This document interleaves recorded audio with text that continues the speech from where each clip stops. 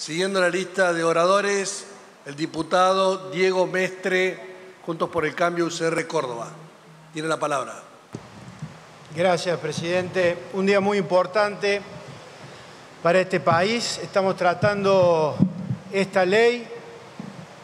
que quiero destacar también lo que se ha hecho en el gobierno anterior por parte del ex ministro de Salud, doctor Adolfo Rubinstein, que en el año 2018 y 2019 trabajó muchísimo en la temática, como así también como se ha hecho acá destacar los distintos proyectos que han venido presentando diputados desde hace mucho tiempo y también el trabajo que se ha hecho en el Senado por parte de Julio Cobo, la senadora Sagasti, que han impulsado esta media sanción,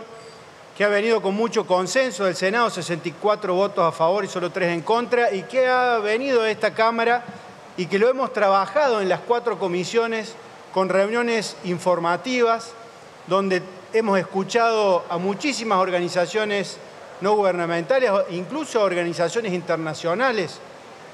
que han hecho sus aportes. Hemos escuchado a los profesionales de la salud, hemos escuchado a los, a los colegios de nutricionistas, hemos escuchado a las asociaciones de consumidores que hemos convocado, donde también han hecho sus aportes y que por supuesto están validando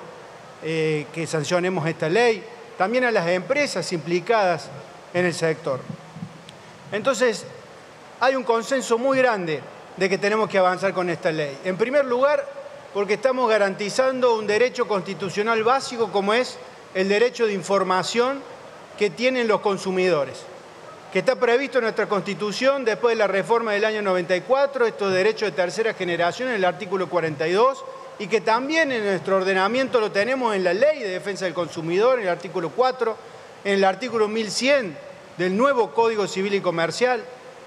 en los distintos tratados de derechos humanos internacionales que tiene suscrita la Argentina, como así también en distintas resoluciones de Mercosur e incluso de la Secretaría de Comercio Interior de este gobierno. Y está claro que no solamente es acceso a la información, no solamente es transparencia, es responsabilidad industrial, es bienestar, sino fundamentalmente es prevención. Y cuando hablamos de salud pública, la prevención ocupa un rol fundamental. Esto ya lo tenía muy claro un gran médico argentino que aportó muchísimo a la salud pública, no solamente de la Argentina, sino del mundo, como fue René Favaloro, quien allá por el año 99 en un congreso internacional en Nueva Delhi ya hablaba de la importancia que tiene la prevención para evitar las enfermedades cardiovasculares. Por lo tanto, señor presidente, está claro que si vamos a las estadísticas y vamos a los números, podemos ver, después de este análisis que hemos podido observar, que el sobrepeso y la obesidad fundamentalmente afecta, es una pandemia silenciosa, no infecciosa que afecta a 3 millones de muertes por año en el mundo y que Argentina tiene estos índices por encima de la media. Por eso cuando analizamos estos números, que son fundamentalmente, como les dije anteriormente, del año 2018 y 2019, aumentados en la pandemia, por supuesto, podemos ver que los argentinos tienen un 35% de obesidad en los adultos, que el sobrepeso llega al 60%. Y lo que es más grave aún, los niños, niñas y adolescentes de 2 a 12 años tienen estos índices de sobrepeso que llegan al 40%. Son índices muy altos, porque este sobrepeso y esta obesidad son fundamentalmente los causantes de la hipertensión arterial, de la diabetes, de los distintos tipos de cáncer, de las enfermedades cardiovasculares y por supuesto que derivan y provocan la muerte. Entonces, no solamente hay una, afectación personal, familiar, sino fundamentalmente de la, de la salud pública que se viene afectando.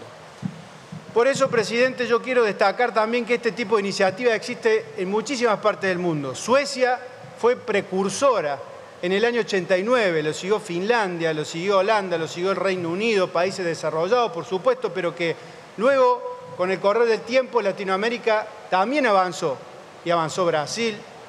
y avanzó México, y avanzó Uruguay, y avanzó Perú, y avanzó Chile, como se dijo acá por parte de la diputada Austin, donde nosotros hemos recibido en la comisión también al senador que impulsó la ley del etiquetado frontal de advertencia en, la República de Chile, y donde allí hemos podido observar cómo esto, la industria se, se rearmó y por supuesto se vio beneficiada los consumidores. Eso es lo que estamos buscando. Y para terminar, señor presidente, porque sé que ya estoy en el tiempo, a modo de reflexión, creo que tenemos que tener muy en cuenta la alimentación, lo que queremos impulsar, que la alimentación sea saludable. Esto ya lo viene diciendo la FAO de Naciones Unidas y tiene que ver con cómo se están perdiendo los nutrientes de nuestros suelos, cómo esto afecta la alimentación, cómo esto afecta también o viene afectado por el cambio climático y creo que esta es una muy buena iniciativa y es un aporte importantísimo que estamos haciendo entre todos para mejorar la salud pública de los argentinos y para garantizar un derecho constitucional básico como es el acceso a la información. Gracias, presidente. Muchas gracias, diputado Mestre.